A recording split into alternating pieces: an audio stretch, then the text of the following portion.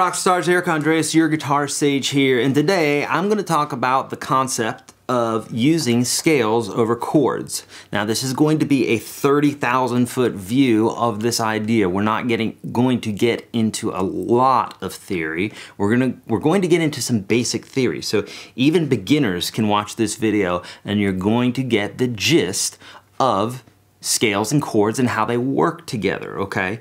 I'm going to use some analogies and I'm going to use some specific examples and give you some great resources, some different places that you can look elsewhere on the net to get some more answers, okay? If you want to further go down this path, okay? So uh, reason, the reason that I'm, that I'm doing this video is I had one of my recent um, uh, Facebook, or I, have had uh, a Facebook uh, um, subscriber uh, who asked me, could you teach about this idea of using scales over chords? And I thought, gosh, uh, it's something that we that uh, musicians honestly take for granted a lot of times because once you understand the concept, you just do it. So uh, I want to talk to talk about it and um, and and give you some examples. Okay, so let's think about this first off from a very general standpoint. Uh, you hear somebody say, "Hey, we're in the key of C." okay? And then you see all the musicians look at each other, okay, cool. And then they go and they play the particular song. Maybe it's blues, maybe it's a blues riff or something like that. And magically everybody sounds good together. If you've ever heard two musicians playing in two different keys, you'll know it does not sound very pretty, okay? So I'm gonna use a couple analogies here to give you uh, kind of an idea as to what's going on. So uh, when we're speaking, just like I am in this video, I have a certain goal in mind. Okay, in this case here, it's to tell you how to use scales over chords. Okay, so that's, we could call that the subject matter of this lesson. Well, just like every conversation, every speech, every song um, has a a goal or a subject or a title and it has a central idea. Because if not it's just a bunch of random thoughts put together. I mean heck even seinfeld uh, shows where they had these these crazy dialogues going back and forth there was a specific thing that they were talking about all the time okay? So um, similarly for the music we have a key okay? And the key is one central note that all the other notes and all the other chords revolve around, if you will. They point back to, they kind of dance around and they point back to it and that sort of thing. And also, that being said, once you establish what the keynote is, it determines what the other notes are going to be that are within the scale and within the chords and that sort of thing. Now, there's we can go we can really go down a rabbit trail there and I could spend days talking to you about that, but we're not going to do that in this one lesson. So, um, so this idea of scales over chords. Uh, another way that you can think about it is if two people are talking about two different subjects. So if I'm talking about cars, okay, with my other friends, we're all talking about cars, and then here comes you know another buddy, and he starts talking about computers in the middle of us talking about cars. We're gonna be like, dude, we're talking about we're talking about cars. Like it's just going to be socially awkward because he's talking about something different.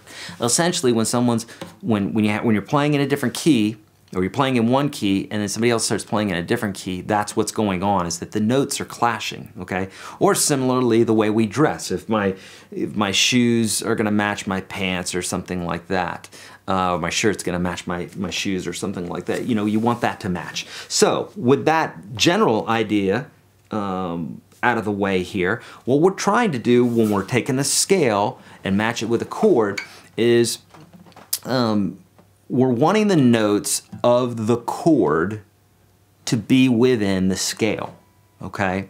Now, obviously, we probably aren't going to have every scale note within that chord. I don't think I've ever run into that ever in the history of ever.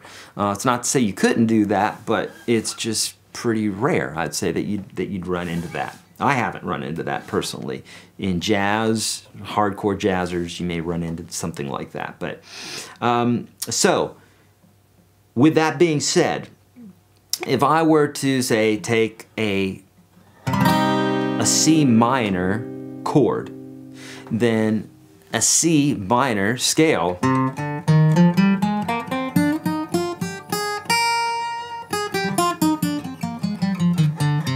Is gonna sound best over it, okay? Because it's a C minor and it's a C minor scale. Okay, so you can see where, see this pattern of my chord, of my bar chord, and if you notice the pattern, I'm gonna emphasize all the, the notes within the chord in this scale. So,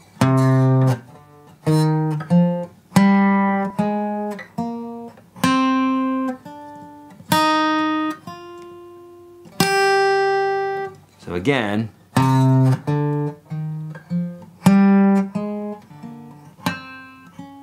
whoops.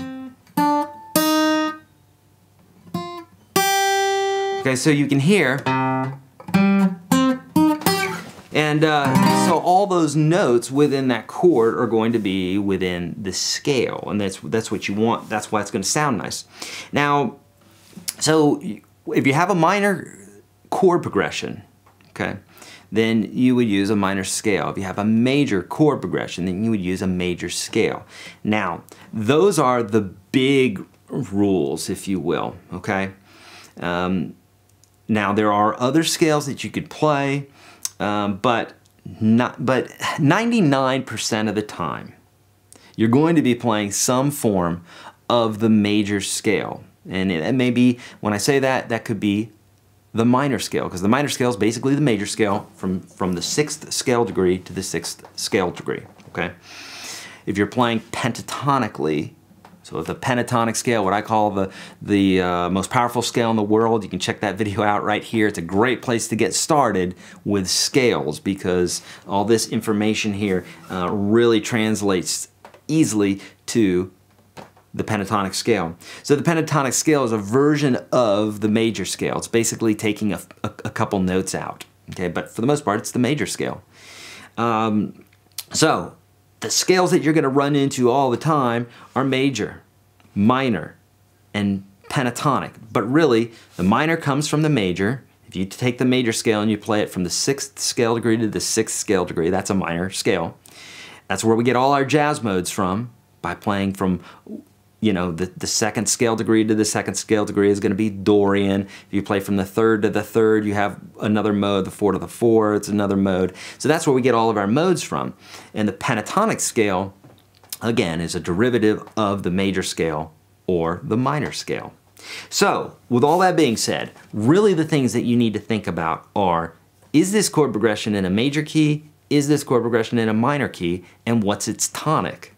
Okay? You gotta know what the tonic is, or the key, better yet, you gotta know what the key is, okay? So if it's a song in the key of G, and we have chords like C and D and E minor and A minor, then all those chords point back to the key of G, okay? If you don't know this information, it's information that you have to attain over time by learning, reading books, or checking out courses. I've got a, a, course that goes over all this stuff, the Unstoppable Guitar System. The link is below, you can check it out. Um, but these chords tell us that we're in a specific key. And so the scale that I would use over that is the key of G. Okay. Now, if I had um, similarly a chord progression in the key of A minor, let's say it's A minor, C, F, then I could use the A minor scale. Okay, so the big things you want to be looking out for what's the key that you're in, the letter name, you know, is it A, is it A sharp, is it B, C, what is it? That's the most important thing because that's going to be your root note for your scale. And then is the chord progression major or minor? And if you don't know that information, then you need to find that information out, but you're not gonna do that in this video because it would take too long to explain. You gotta check out my course, okay? All right, my friends, that should give you a basic overview, at least, of how to use scales over chords. Hopefully that helped you. If it did, hit thumbs up and subscribe. Please let me know if I can help you on Facebook, Twitter, and all that good stuff, or you can leave a comment below.